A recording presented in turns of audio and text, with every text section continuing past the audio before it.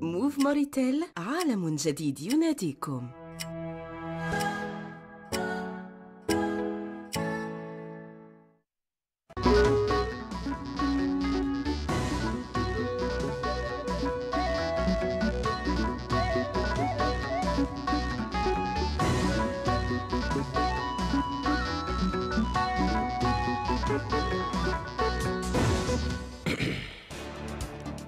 رئيس الجمهورية يشارك بالعاصمة الكورية سيول في حفل العشاء المنظم على شرف رؤساء الدول والحكومات الإفريقية المشاركين في القمة الكورية الإفريقية.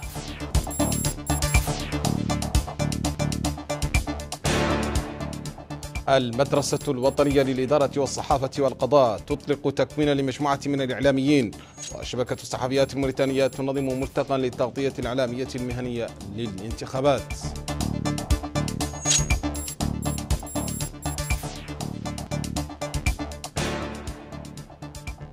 وزير التنمية الحيوانية يشرف من بلدية أغشورجيت على انطلاق الإحصاء العام للثروة الحيوانية على المستوى الوطني.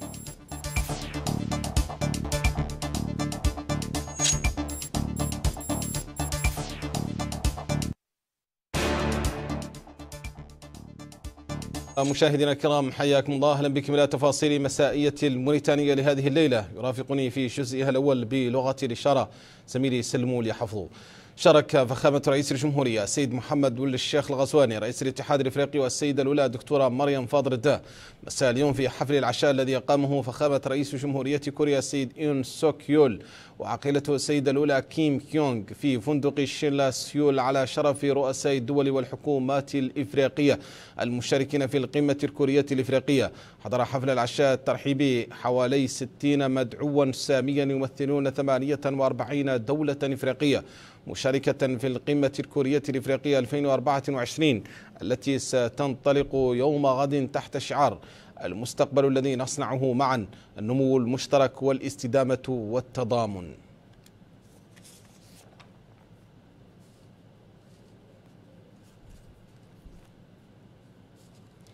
وكان فخامة رئيس الجمهورية السيد محمد الشيخ الغزواني رئيس الاتحاد الإفريقي قد وصل مساء امس إلى العاصمة الكورية الجنوبية سيول للمشاركة في القمة الكورية الإفريقية التي ستنعقد يومي الرابع والخامس يونيو الجاري. وكان في استقبال فخامة رئيس الجمهورية بالمطار السيد أو كي أونغ وزير الشركات الصغيرة والمتوسطة والشركات الناشئة والسيدة هيون كيم مديرة قسم التشريفات للشرق الأوسط والسيد سيدي الحاج سفير بلادنا في كوريا بالإضافة إلى بيون جان يون سفير جمهورية كوريا لدى بلادنا. ويشارك في هذه القمة المنظمة تحت شعار المستقبل الذي نصنعه معا. النمو المشترك والاستدامة والتضامن. رؤساء الدول والحكومات الإفريقية ومسؤولو المنظمات الدولية ذات الصلة بإفريقيا إضافة إلى رواد الأعمال في كوريا وإفريقيا وذلك بهدف تعزيز التعاون والتكامل بين كوريا والقارة الإفريقية. ويرافق فخامة رئيس الجمهورية في هذه الزيارة وفد هام يضم كل من الدكتورة مريم منتدا السيدة الأولى المختار لدي الوزير المكلف بديوان رئيس الجمهورية محمد سالم والمرزوق وزير الشؤون الخارجية والتعاون والموريتانيين في الخارج سيدي الحاج سفير موريتانيا بسيول أحمد والباهيني مكلف بمهمة برئاسة الجمهورية سيد أحمد واللبوه مستشار برئاسة الجمهورية الحسن والأحمد المدير العام لتشريفات الدولة. في الشأن البرلماني خصصت لجنة الشؤون الاقتصادية بالجمعية الوطنية الاجتماع الذي عقدته صباح اليوم برئاسة النائب محمد رمين سيدي مولود. وبحضور عبد السلام والمحمد صالح وزير الاقتصاد والتنمية المستدامة ممثلا للحكومة في هذا الاجتماع. للدراسة المعمقة لمشاريع القوانين التالية. مشروع قانون يتعلق باتفاقية القرض الموقعة بين بلادنا والرابطة الدولية للتنمية والمخصصة لتمويل سياسة التنمية التسيير الجبائي والقدرة على الصمود. مشروع قانون يتعلق باتفاقية القرض الموقعة بين بلادنا والوكالة الفرنسية للتنمية والمخصصة لتمويل المشروع المندمج لتعبئة المياه السطحية. مشروع قانون يتعلق باتفاقية تمويل مشروع التسيير المستدام للموارد الطبيعية والتجهيز البلدي وتنظيم المنتجين الريفيين الموقعة بين بلادنا والصندوق الدولي للتنمية الزراعية.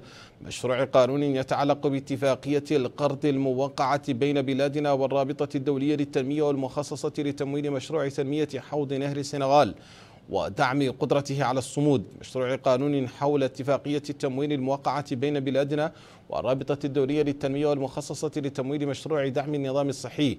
عناية الموسع مشروع قانون يلقي ويحل محل القانون القاضي بإنشاء منطقة حرة في نواديبو انطلقت صباح اليوم بالعاصمة فعاليات برنامج التكوين لصالح مجموعة من العاملين في مجال الإعلام الخصوصي من صحفيين وفنيين. يهدف هذا التكوين إلى تمكين الصحفيين المشاركين من الأدوات اللازمة للنهوض بالإعلام الخصوصي. تشريعات وأخلاقيات الصحافة الاستقصائية هي مواضيع النسخة الرابعة من الدورة التكوينية الشاملة للصحافة الخاصة المنظمة من قبل صندوق دعم الصحافة الخاصة والمدرسة الوطنية للإدارة والصحافة والقضاء وذلك من أجل تمهين الحقل الإعلامي. إن الاهتمام بتكوين وتمهين الصحافة يشكل إحدى أهم محاور برنامج فخامة رئيس الجمهورية السيد محمد الشيخ الغزواني. تسهر حكومة معالي الوزير الأول السيد محمد البلال على تطبيقه بشكل متكامل. وما المكاسب التي تحققت مؤخرا في مجال الحريات الإعلامية وتحسين ظروف عمل الصحفيين ومضاعفة الدعم العمومي وتصدر بلادنا للبلدان العربية والإفريقية في مجال حرية الصحافة إلا تجليات لهذا الاهتمام وثمار شاهدة لمسار الإصلاح الإعلامي الذي تم إطلاقه بالشراكة مع الإعلاميين قبل أربع سنوات. وهو الإصلاح الذي تواصل السلطات العمومية بجد وواكبه الإعلاميون بالصدق. يشارك في الدورة التكوينية مئة صحفي من القطاع الخاص باللغة العربية واللغات الوطنية والفرنسية. تتنزل هذه الدورة التكوينية في إطار الاهتمام البالغ الذي توليه السلطات العمومية للتكوين المستمر والذي تعمل المدرسة الوطنية للإدارة والصحافة والقضاء على تجسيده واقعا ملموسا حيث تشهد المدرسة حاليا سلسلة من التكوينات المستمرة في مختلف المجالات ولصالح عدة قطاعات حكومية. رئيس السلطة العليا للصحافة والسمعيات البصرية قدم محاضرة عن الخبر وقدسيته. من القارئ أن نرتل من سورة النمل وجئتك من سبع بنبأ يقين إني وجدت امرأة تملكهم وأوتيت من كل شيء ولها عرش عظيم. وجدتها وقومها وهذا حقيقة قد يعود في ياسر متول كل التكوينات التي يقام بها لصالح الصحفيين تستهدف أساسا تدعيم معارفهم العلمية والمهنية. ومن أولى أولويات الصحفي هو أن يحافظ للخبر على قدسيته وللرأي على حريته. والآية سورة النمل خصوصا نموذج جلي من التمييز الصارم بين صدقية الخبر وبين حرية الرأي.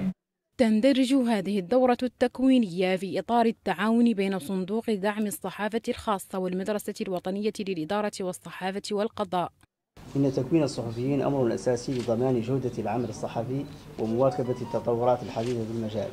ويساعد التدريب على تطوير المهارات اللازمة للبحث والتحرير والتواصل بفعالية مع الجمهور كما يساهم التكوين في تعزيز الوعي بالمعايير الأخلاقية والمهنية للصحافة ويساعد على فهم أفضل لأخلاقيات العمل الصحفي وضرورة الحفاظ على النزاهة والموضوعية في تغطية الأحداث. سيتلقى المشاركون في هذا التكوين الذي يستمر أسبوعين دروسا نظرية وتطبيقية في مختلف المجالات المتعلقة بالحقل الإعلامي.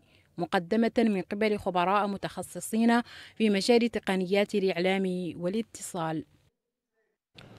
في موضوع ذي الصلة نظمت شبكة الصحفيات الموريتانيات صباح اليوم ملتقى واكشوط للتغطية الإعلامية المهنية للانتخابات. يشارك في هذا الملتقى عدد من الإعلاميين وممثلي المؤسسات الإعلامية والمهتمين بالشأن السياسي الوطني. تزامنا مع الانتخابات الرئاسية المقبلة ومحافظة على تغطية إعلامية محايدة لضمان انتخابات نزيهة وشفافة. في نسخته الثانية تنظم شبكة الصحفيات الموريتانيات ملتقى واكشوط للتغطية الإعلامية المهنية. يأتي تنظيم ملتقى واكشوط للتغطية المهنية للانتخابات النسخة الثالثة الذي عودتنا شبكة الصحفيات الموريتانيات مشكورة على تنظيمه أمام استحقاقات وطنية عديدة. تزامنا مع استعداد بلادنا لتنظيم الاستحقاقات الرئاسية المقررة 29 يونيو 2024 وسيسهم هذا الملتقى في تحسين قدرات الصحفيين عبر التكوين على التغطية المهنية المحايدة ومد الصحفيين الموريتانيين بالمهارات والخبرات والفنيات الضرورية من أجل أداء مهامهم النبيلة وتسريحهم بما يلزم لمعالجة الأخبار المتعلقة بالانتخابات باعتدال ومسؤولية. وهو ما ينسجم مع رؤية السلطات العليا وما تسعى له من أجل وجود صحافة مهنية ذات مصداقية قادرة على توصيل الخطاب ونقل المعلومة الصحيحة في صورة دقيقة ومهنية وخلق مناخ مناسب لنقاش هادئ وبناء يفسح المجال أمام الرأي والرأي الآخر. استهل الحفل بعرض فيلم عن أهم الأنشطة التي تم تنظيمها على هامش الملتقى ومدى حضوره واستعداده للمشاركة في إنجاح العملية الانتخابية بكل مهنية وحياد. يحمل الملتقى دلالة تشاركية وإجماعية الشركاء. نحن جميعا شركاء في إنجاح المسار الانتخابي سواء بهيئاتنا التنظيمية المكلفة بالتنظيم المادي أو بتأمين النفاذ العادل للمترشحين إلى وسائل الإعلام وسواء بإعلاميين أو مثقفين أو كل شركائنا في التنمية نحن جميعا شركاء في إنجاح هذا المسار. إنجاح المسار يتطلب تكوينا تحيينا وتحسينا تكوينا للإعلاميين ولكل الوسطاء بين المترشحين. وبين الناخبين وعودة متواصلة لمفهوم المشروعية والشرعية لأنها لحظة إعلام إعلام لقيم الديمقراطية وقيم التعدد وقيم السلم وقيم التنافس البناء خلال ثلاثة أيام سيتلقى المشاركون محاضرات حول الموضوع. أطراف العملية الانتخابية أدوار ومسؤوليات. والسلامة الصحفية أثناء تغطية الانتخابات بالإضافة إلى ورشات عمل تطبيقية. العنوان يحيل إلى مقاربة هامة في هذا الظرف بالذات. فنحن على بعد أيام من انطلاق الحملات الانتخابية الممهدة لرئاسيات 24 بعد الألفين. ولعله من الوارد في هذا السياق أن نضع النقاط على الحروف بخصوص انشغالات ممتهني صاحبة الجلالة عندما نسعى معا إلى تكريس الحياد والشفافية ونطمح إلى تغييب المعلومة المغلوطة ونقف حجر عثرة في وجه الأخبار الكاذبة. ملتقى وغشوط للتغطية الإعلامية المهنية للانتخابات. ملتقى يأتي بتعاون بين شبكة الصحفيات الموريتانيات ووزارة الثقافة والشباب والرياضة والعلاقات مع البرلمان ووزارة العمل الاجتماعي والطفولة والأسرة وبعض الشركاء الإعلاميين. أبناء في شبكة الصحفيات الموريتانيات. على تنظيم ملتقى وغشوط للتغطية الإعلامية المهنية قبل كل استحقاقات. لتكوين الصحفيين وتسليحهم بالمعلومات اللازمة التي تساعدهم على تغطية مهنية متوازنة وحيادية وذلك من خلال دورة تكوينية يشرف عليها مدربون وطنيون ودوليون ودليل للتغطية وندوات إعلامية وسياسية. المداخلات خلال الملتقى ركزت على أهمية التكوين المهني في هذه المواسم الانتخابية وهو ما أكدته ممثلة الأمم المتحدة للإنماء وكالة كما ثمن الأستاذ المحاضر رياض معسعس عمل الشبكة في هذه المواسم الانتخابية مؤكدا ضرورة دعمها المستمر. أطلقت مفوضية حقوق الإنسان والعمل الإنساني والعلاقات مع المجتمع المدني صباح اليوم بنواكشوط منصة لمتابعة تنفيذ توصيات الموجهة للحكومة من طرف الآليات الدولية والإقليمية لحقوق الإنسان. تهدف المفوضية من خلال هذه المنصة إلى توفير توصيات هيئات الأمم المتحدة التي وقعت عليها بلادنا. مفوضية حقوق الإنسان والعمل الإنساني والعلاقات مع المجتمع المدني تنظم ورشة لإطلاق قاعدة بيانات لمتابعة تنفيذ التوصيات الموجهة للحكومة من طرف الآليات الدولية والإقليمية لحقوق الإنسان وذلك بحضور ممثلين عن الهيئات الوطنية لحقوق الإنسان والشركاء الفنيين والماليين ومنظمات الدفاع. عن حقوق الإنسان. تتميز قاعدة البيانات هذه بكونها أداة رقمية فعالة لجمع ومتابعة جميع التوصيات والملاحظات المقدمة إلى الحكومة في إطار التفاعل الإيجابي مع الآليات الأممية والإقليمية لحقوق الإنسان. من خلال استعراض التقارير ونقاشها وتنظيم زيارات الإجراءات الخاصة للمقررين الخاص ومجموعات العمل كما تتميز بكونها أداة لتسهيل التنسيق الحكومي والتحديث المستمر للبيانات بما يسمح بتصنيف وتحديد المسؤولية المناطة بكل قطاع على حدة وتتبع مدى التقدم الحاصل على مستوى تنفيذها كالتزامات للحكومة في مجال حقوق الإنسان وأهداف التنمية المستدامة. يتعين الوفاء بها وفق آجال محددة.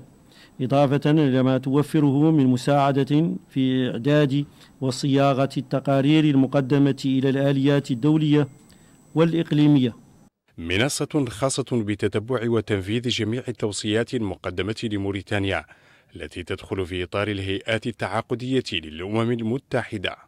سعيد بوجودي معكم في حفل إطلاق قاعدة البيانات التي تشرفون عليها لرصد توصيات آليات حقوق الإنسان التابعة للأمم المتحدة.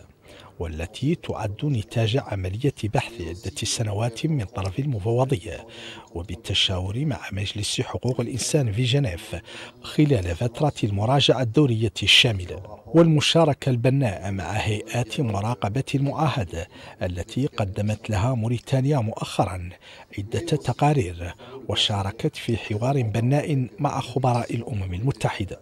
هيئات ومنظمات مجتمع مدني تابعوا عرضا مفصلا حول قاعدة البيانات التي أنشأتها المفوضية. والمحتوى الذي تم إدراجه ضمن بياناتها إضافة إلى توفير تلك البيانات لمن يريد مراجعة جميع الأعمال التي تقوم بها. في موضوع آخر أشرف وزير التنمية الحيوانية اليوم من قرية جدة ببلدية أشورجيت على انطلاق الإحصاء العام للثروة الحيوانية على المستوى الوطني. يهدف هذا الإحصاء الأول من نوعه إلى جمع البيانات الكافية عن الثروة الحيوانية والإنتاج الحيواني في بلادنا. من قرية جدة التابعة لبلدية خشورجيت في ولاية البراكنة أشرف وزير التنمية الحيوانية أحمد ديتو لشين رفقة والي البراكنة على إطلاق الحملة الوطنية للإحصاء العام للثروة الحيوانية. وبهذه الإشارة انطلقت فرق العد المكلفة بالإحصاء في البراكنة على غرار البعثات في عموم التراب الوطني. تستهدف الحملة إحصاء دقيقا وشاملا وقد اتخذت كافة اللوازم والمعدات لضمان نجاح هذه العملية الأولى من نوعها في بلادنا. يأتي قرار الحكومة بإجراء أول إحصاء عام للثروة الحيوانية تطبيقا للتوصيات الدولية التي تدعو جميع البلدان إلى تنظيم إحصاء عام للثروة الحيوانية وتنفيذا لتلك التوصيات عهدت الحكومة بتنفيذ هذا الإحصاء إلى الوكالة الوطنية للإحصاء والتحليل الديموغرافي والاقتصادي. بتمويل من خزينة الدولة وبدعم مالي وفني من البنك الدولي ومنظمة الأغذية والزراعة. إن الإحصاء العام للثروة الحيوانية هو عملية واسعة النطاق تهدف إلى جمع ومعالجة ونشر المعلومات النوعية والكمية عن بنية الثروة الحيوانية. وسيغطي بشكل أساسي مجموع قطعان الماشية على المستوى الوطني الإبل والأغنام والماعز والبقر والدواجن والحمير والخيل بالإضافة إلى بعض خصائص التربية الحيوانية النوع والسلالة والجنس وهياكل وخصائص أنظمة التنمية الحيوانية الصحة الحيوانية الشغل في القطاع وديناميكية التحركات الماشية. وموازاة مع إطلاق الإحصاء العام للثروة الحيوانية. أطلق القطاع حملة تحسيسية لتوعية المنمين حول أهمية هذا الإحصاء في إتاحة بيانات شاملة وموثوقة تساهم في تسهيل رصد وتقييم السياسات وبرامج التنمية. أؤكد لكم الاتحادية على استعداد تام لبذل كل ما من شأنه أن يساهم في إنجاح هذه العملية لما لا من أهمية بالغة. الوقت الذي أخاطبكم فيه يتواجد 13 فريق منا في جميع ولايات الوطن بما فيها نواكشوط من أجل حضور انطلاقة العملية الوطنية مع سائر الولاة وتحسيس أقسامنا ومنتسبينا في الداخل. هذه الفرق مزودة بوسائل نقل وشعارات مناسبة لإقناع المنمين بالانخراط في عملية الإحصاء. جهود رحب بها المنمون مذمنين المكانة الخاصة التي توليها السلطات العمومية للثروة الحيوانية. ومن المنتظر أن تستمر المرحلة الأولى من هذه العملية حتى الخامس من يوليو المقبل فيما ستستمر المرحلة الثانية مدة شهرين. محمد الملهادي قناة الموريتانية بلدية خشورجيت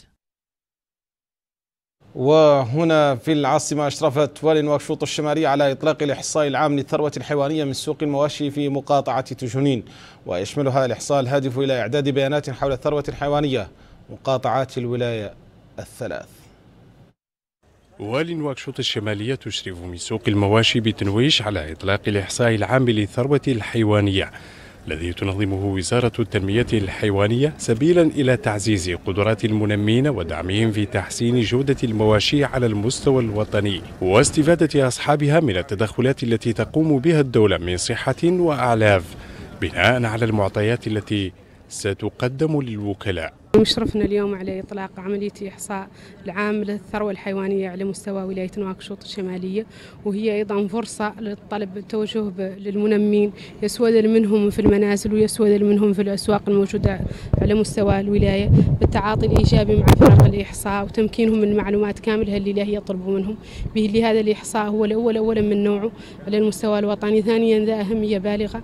به اللي مستقبلا هاي المعطيات والمؤشرات اللي لا يخرج بهذا الإحصاء هي اللي لا يتمكننا من وضع استراتيجيات وسياسات تعود تعمل على رفع من من مستوى هذه المقدرات الحيوانية والثروات الموجودة على المستوى الوطني.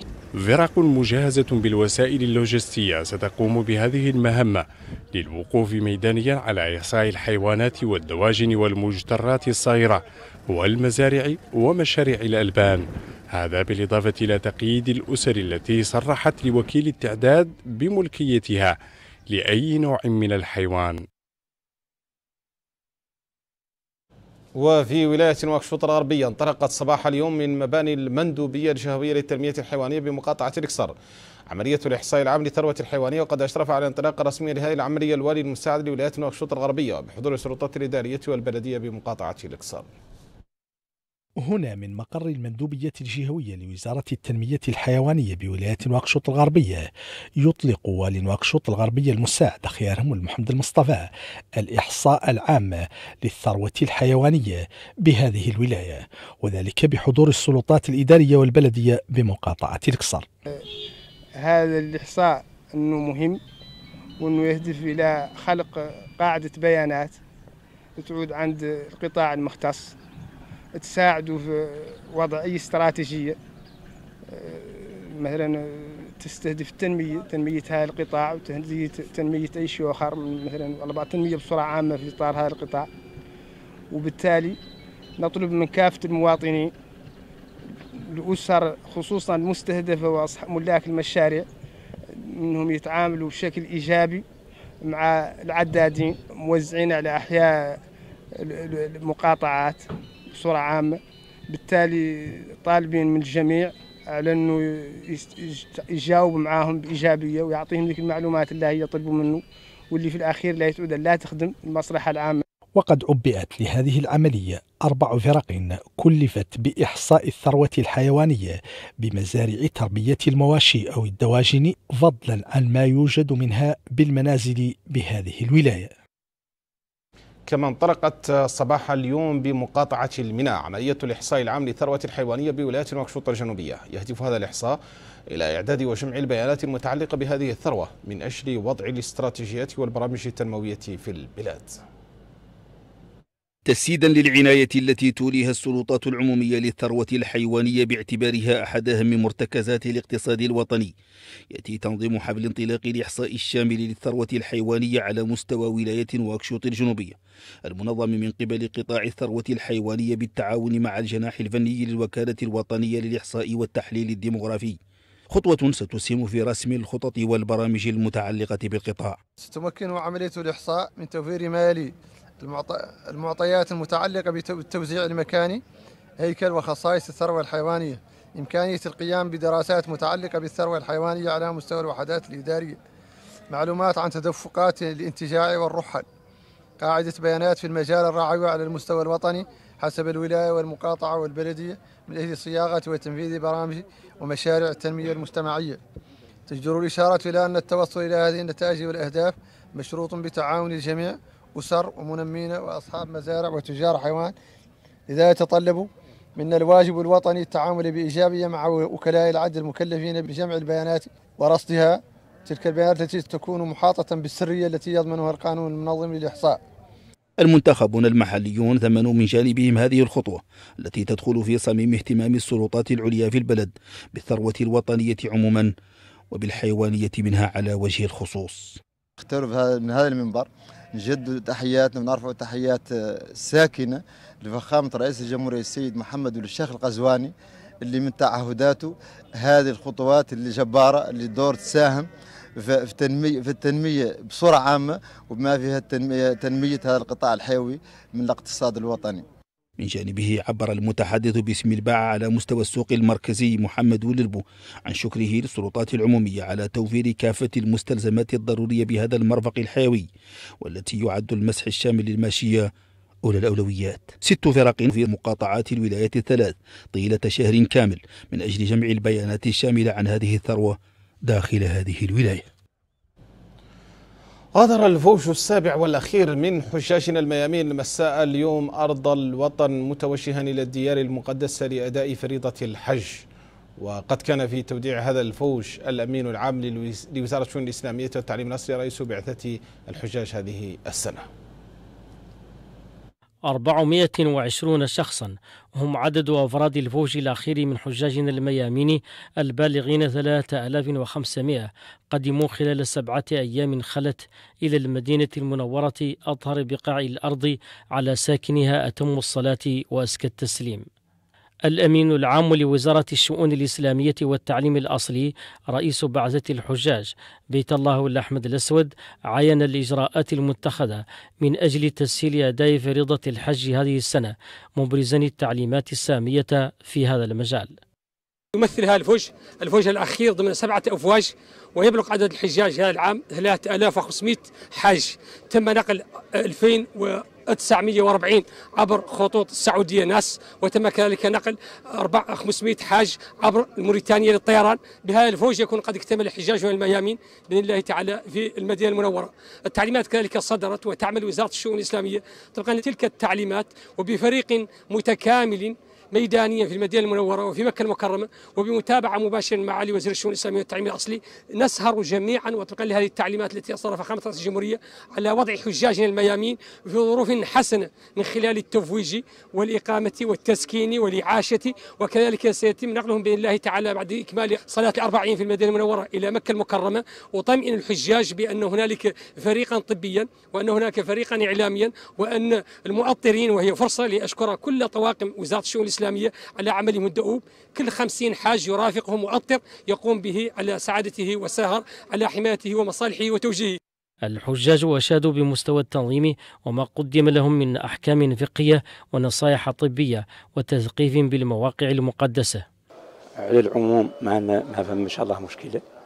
طبيعة تقويم العملية كامل إيجابي مع أن العمل البشري تملأ فيه فيه نقص غير بعد العموم إيجابي كامل.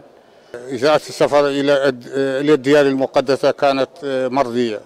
إن شاء الله لم نلقى أي صعوبات وهذا ما أستطيع أن أؤكده لكم. ما تلقينا إلا ما هو أحسن من أحسن إلى أحسن. جيد كامل الفتنة خلنا عليه منه. عن المستقبل يعود إن شاء الله كذلك. موسم الحج للعام الهجري 1445 تميز هذه السنة بتدابير أسهمت في انسيابية عملية التفويج وفق الخطة المرسومة الرامية إلى توفير مساكن قرب الحرمين الشريفين مع استحداث مخيم حجاج موريتانيا في مشعر منن ولأول مرة بالقرب من موقع رمي الجمرات. فحجا مبرورا وسعيا مشكورا لحجاج بيت الله الحرام الذين أتوا من كل فج عميق ليشهدوا منافع لهم. مشاهدينا الكرام إلى هنا أودع زميلي سلمو ليحظه اللي رافقني في الجزء الأول من هذه المسائيه مشكورا بلغة الإشارة. وواصل معكم ما تبقى من فقرات مسائيتنا لهذه الليلة حيث أشرفت رئيسة جهة نواكشوط صباح اليوم على افتتاح أعمال الدورة الحادية والثلاثين للمكتب التنفيذي لمنظمة المدن والحكومات المحلية المتحدة بإفريقيا. وستناقش هذه الدورة الوضعية في منطقة الساحل والعمل على تنمية العلاقات بين شعوب القارة الإفريقية. آلية تعزيز التعاون بين المجموعات المحلية بإفريقيا حتى تتمكن من القيام بالدور المنوط بها في الدفع بعجلة التنمية على أكمل وجه. كان محور النقاش في اجتماع اللجنة التنفيذية لمنظمة المدن والحكومات المحلية المتحدة بإفريقيا في دورتها الحادية والثلاثين. ينعقد اجتماعنا اليوم ضمن مناخ مضطرب حيث الحرب مستعرة في فلسطين وأوكرانيا. هذا فضلا عن الصراعات والاضطرابات بمنطقتنا منطقة الساحل وهو ما فاقم الوضع الاقتصادي المتأزم أصلا خاصة وأن مدننا ما زالت تئن تحت الآثار السلبية لوباء كوفيد 19 وبطبيعة الحال فإن منظمة الحكومات المحلية المتحدة لإفريقيا تواجه مصاعب مضاعفة. إذ يتعين عليها تلبية رغبات السكان الذين يطالبون بكل شيء والنهوض بكل الأعباء في ظل شح الموارد وعدم تلقيها حتى مجرد مساهمات الأعضاء. الاجتماع تضمن مداخلات أكدت أهمية ترسيخ أسس اللامركزية ودورها البارز في التنمية المستديمة وتقريب الخدمة من المواطنين. احتضنت دار الشباب القديمة مساء أمس حفل اختتام الموسم الثقافي والرياضي للاتحاد العام للطلاب الموريتانيين وقد توج هذا الحفل بتوزيع جوائز تشجيعية على المتفوقين من الطلاب الذين شاركوا في مسابقات القرآن الكريم وكرة القدم والألعاب التقليدية. وبهذه المناسبة بين الأمين العام للاتحاد التهامي والسيدي محمد أن الاتحاد يسعى من خلال تنظيم النسخة العاشرة من موسم الثقافي والرياضي إلى تشجيع مواهب الطلبة المجدين والمتفوقين وحثهم على التنافس والتحصيل العلمي. وقد تضمنت فعاليات اختتامها الموسم مداخلات ركزت في مجملها على ضرورة تحقيق مطالب الطلاب المشروعة وغاية إعانتهم على الدراسة وما تتطلبه من تسهيلات.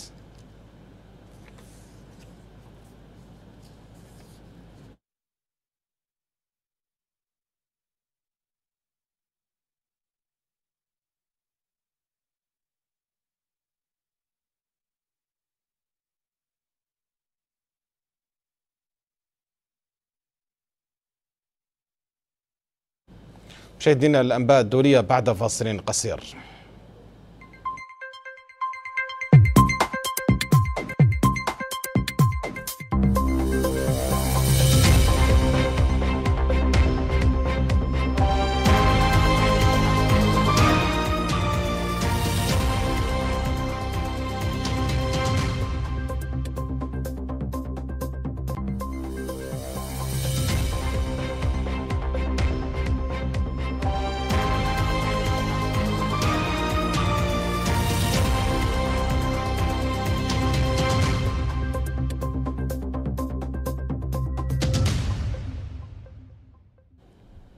أهلا بكم من جديد تعرضت مناطق عديدة في قطاع غزة لقصف عنيف وسط استمرار المعارك بين المقاومة والاحتلال الذي يؤكد تصميمه على استمرار الحرب رغم الدعوات لوقف إطلاق النار وإبرام صفقة تبادل للأسرى.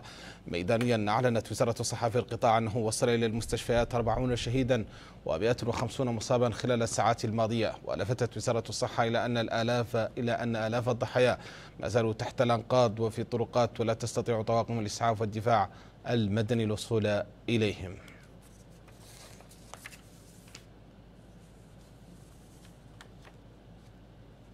فازت مرشحة اليسار الحاكم كلوديا شينباوم بانتخابات الرئاسة في المكسيك بفارق كبير عن منافستها اليمني اليمينية لتصبح أول رئيسة للمكسيك وفق النتائج الأولية التي نقلتها وسائل الإعلام. وأظهر استطلاع للرأي الناخبين عقب خروجهم من مراكز الاقتراع أن شيمبيان حصدت نسبة نسبة 57.8% من الأصوات متفوقة بفارق واسع على السيناتورة السابقة المنتمية إلى أمين الوسط التي حصلت على نسبة من الأصوات. وكانت انتخابات في المكسيك قد شهدت أعمال عنف بسبب عصابات المخدرات حيث صنفت هذه الانتخابات على أنها الأكثر دموية في تاريخ المكسيك. الحديث بعد مقتل نحو 38 مرشحا في سلسلة من الاغتيالات. مشاهدينا الكرام المسائية انتهت. لم يبقى إلا نذكر بالعناوين. عناوين مسائيتنا لهذه الليلة نعود للتذكير بها مشاهدينا الكرام. رئيس الجمهورية يشارك بالعاصمة الكورية سيول في حفل العشاء المنظم على أشرف رؤساء الدول والحكومات الإفريقية المشاركين في القمة الكورية الإفريقية.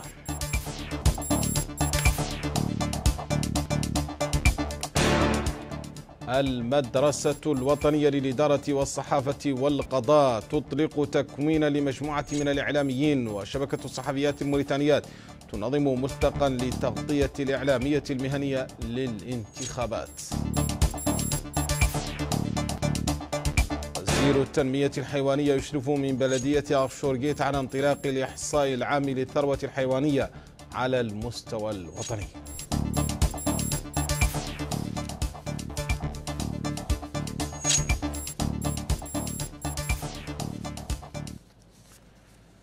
مشاهدينا الكرام المسائية انتهت أخبار الولايات مشاهدينا الكرام بعد فاصل قصير مع زميلي الناجح والأحمد تحية مني ومن باقي فريق العمل. إلى اللقاء.